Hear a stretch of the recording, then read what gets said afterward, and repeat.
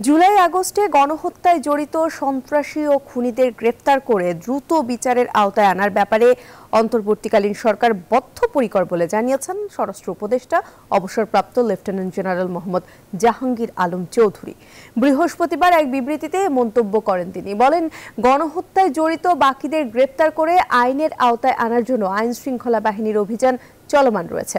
এই গণহত্যায় জড়িত কেউ যাতে সীমান্ত দিয়ে ও আকাশপথে পালিয়ে যেতে না পারে, সেজন্য সীমান্তে ও বিমানবন্দর সমূহে কঠোর নজরদারি অব্যাহত রয়েছে।